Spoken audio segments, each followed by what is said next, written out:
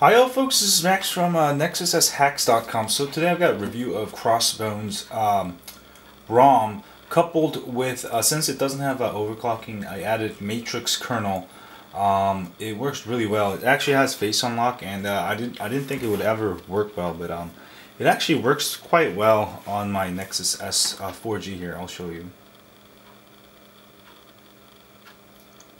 There. And uh, that's even without that much light because I'm I'm kind of going sideways. And that that works really well. I'm really surprised. And I've been trying different um, combos. Um, the key might be you know this is a good ROM. Crossbones 0.1.2 um, I got it I got set CPU at 1.46 at interactiveX setting and I think it seems to work really well highly recommend this setup. And also, I remember um, my last reviews um, on some of the ICS ROMs, it wasn't that smooth.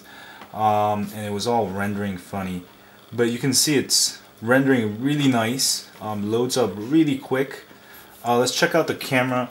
With the overclocking, um, I think it all depends on the kernel you use with the ICS. You need overclocking, otherwise you'd be screwed.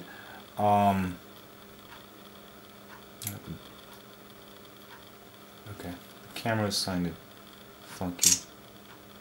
Oh, was just the first time you take the picture. It should work fine.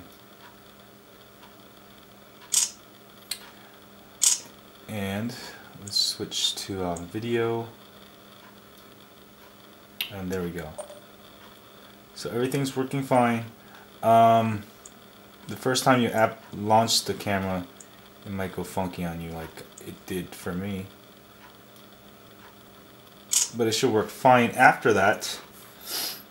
Um, other than that, everything works. Um, it's a good combo, Crossbones. Um, you know, everything's be debloated. Um, just personally, I've, I've been trying so many ROMs for my Nexus S4G and the Nexus S.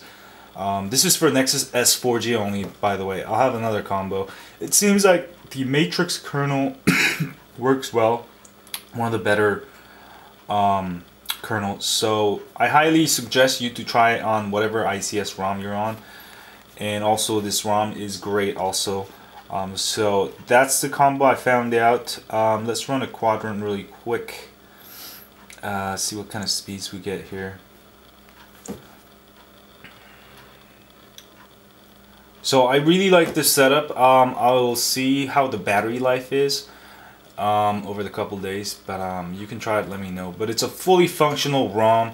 Um, there's no lag whatsoever uh, that I can see kind of here.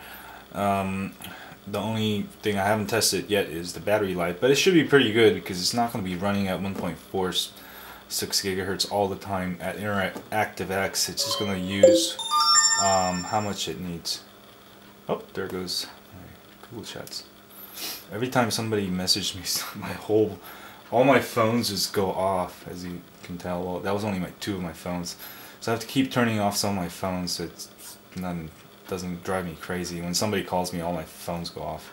If I had all of them on, anyway. Um, should get about 13, 1500, which isn't too bad on ICS. You can't really compare that speeds to on Gingerbread. Um, so it, you can still benchmark it. Just ICS is going to be a lot lower numbers. So I've got 1284.